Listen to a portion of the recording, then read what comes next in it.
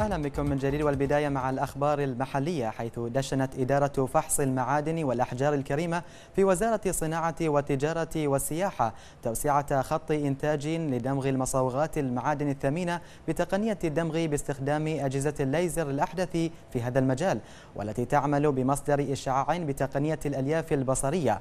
وتأتي هذه التوسعة الجديدة في إطار توجيهات وزير الصناعة والتجارة والسياحة للرقي بمستوى خدمات إدارة فحص المعادن والأحجار الكريمة وإدخال أحدث التقنيات في مجال الرقابة على تجارة وصناعة المجوهرات والمعادن الثمينة. هذا وقد تم تطوير هذه الأجهزة بناء على مواصفات معينة للجهاز الرقابي في مملكة البحرين في مختبرات شركة بي إن ليزر الألمانية. تعد هذه التوسعة مشاهدين خطوة تكميلية للمراحل السابقة من مشروع الوزارة للخطة الخمسية 2013-2018 للتوجه نحو الدمغة النظيفة وتقليل الاعتماد على طرق الوسم اليدوية التقليدية إضافة إلى زيادة الطاقة الإنتاجية الكلية للإدارة من حيث مصوغات المعادن الثمينة والمجوهرات المتداولة في السوق المحلية والأسواق الإقليمية والدولية. وسيتم الاستفادة من الأجهزة الجديدة في زيادة الإنتاجية وفق مع معايير الجودة العالمية في مجال وسم ودمغ المشغولات المعدنية الثمينة. أعلنت شركة بي إف جي انترناشنال عن عزمها لإطلاق مشروع رائد بتقنيات الثورة الصناعية الرابعة Industry 4 في منشأة الشركة في منطقة ميناء سلمان ويهدف المشروع إلى أتمتة مصانع بي إف جي انترناشنال ودمج جميع مجالات أعمالها من خلال برمجيات أساسية والتي ستقوم بتزويدها المؤسسة الشريكة QIO Technologies حيث سيوفر ذلك للشركة المصنعة شفافية تامة عبر سلسلة الإمداد بأكملها بدءا من العميل وحتى الموردين. كما سيعمل أيضا على تحسين عملية الإنتاج ويساهم كل من مجلس التنمية الاقتصادية وصندوق العمل تمكين في دعم هذا المشروع الضخم. وتشكل الثورة الصناعية الرابعة Industry 4 اتجاها متناميا للنظم الإلكترونية أي الأتمتة وتبادل البيانات في مجال تقنيات التصنيع حيث تستخدم الأنظمة الإلكترونية الفيزيائية وإنترنت الأشياء والحوسبة السحابية والحوسبة الإدراكية. من أجل خلق مصانع ذكية يمكنها الاستجابة للتغييرات على نحو فوري لتصبح بذلك أكثر فعالية وكفاءة. ننتقل الآن لنتابع أسعار صرف الدينار البحريني مقابل العملات الخليجية والعالمية.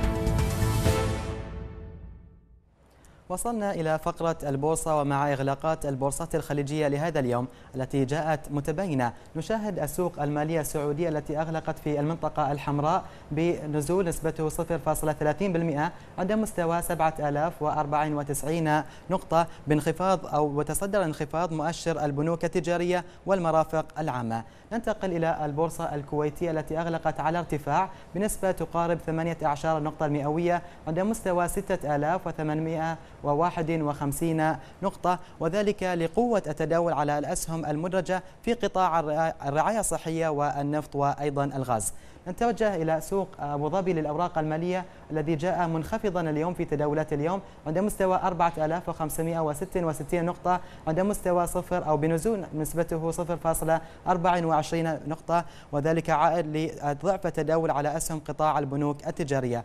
بالمقابل سجل سوق دبي المالي ارتفاعا بنسبة تقارب 17 نقطة المئوية عند مستوى 3633 نقطة لقوة التداول على مؤشر قطاع البنوك وأيضا السلع الاستهلاكية. في حين سجل سوق مسقط للأوراق المالية تراجعا بنسبة تقارب 18 نقطة المئوية عند مستوى 5024 نقطة وذلك عائد لانخفاض جميع مؤشرات البورصة العمانية. بالنسبة إلى بورصتنا المحلية مشاهدينا فقد أقفلت أيضا على انخفاض عند نسبة تقارب 13 نقطة مئوية عند مستوى 1327 نقطة. وذلك عائد لانخفاض مؤشر قطاع البنوك التجارية وقطاع الخدمات. وقد بلغت كمية الأسهم المتداولة مليون وثلاثمائة وأربع وستين ألف سهم بقيمة إجمالية تجاوزت 383 ألف دينار تم تنفيذها من خلال 33 صفقة. وقد تركز نشاط المستثمرين في التداول على أسهم قطاع البنوك التجارية حيث بلغت قيمة أسهمه المتداولة من نسبته 65% من القيمة الإجمالية للأسهم. أعلنت الهيئة العامة للطيران المدني في السعودية عن تخصيص الدول الداعمة لمكافحة الإرهاب تسع ممرات طوارئ جوية بعد موافقتها مع سلطات الطيران المدني في كل من البحرين والإمارات ومصر وذلك لتستخدمها الشركات القطرية كما هو معمول به في حالة إغلاق المجالات الجوية الإقليمية.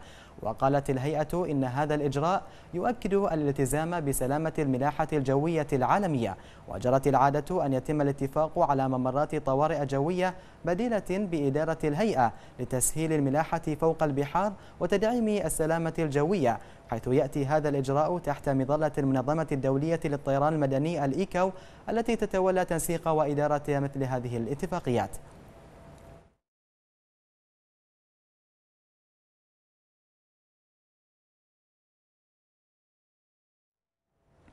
يواصل قطاع السياحة القطري خسائره على خلفية استمرار المقاطعة العربية للدوحة لدعمها للإرهاب حيث توقع محللون تراجعا حادا في عدد السياح خلال الموسم السياحي الحالي بعد أن سجل عدد السياح الذين زاروا قطر خلال عام 2016 نحو مليوني سائح.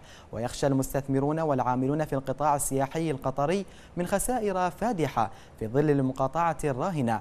وقال خبير السياحة المصري عصام علي إن استمرار المقاطعة العربية لقطر يهبط بإيرادات السياحة هناك إلى مستويات متدنية مقدرا خسائر بأكثر من 70% جاء إعلان مصرف قطر المركزي عن تراجع صافي احتياطات النقد الأجنبي لديه بنحو 10 مليارات دولار في يونيو ليعكس تأثيرا واضحا على اقتصاد قطر. وتكشف بيانات مصرف قطر المركزي عن تراجع صافي احتياطي النقد الأجنبي بعشرة مليارات و400 مليون دولار في يونيو الماضي. ويعني ذلك أن صافي احتياطات النقد الأجنبي في قطر تراجع بنسبة تقترب من 30% وهو أدنى مستوى له في خمسة أعوام.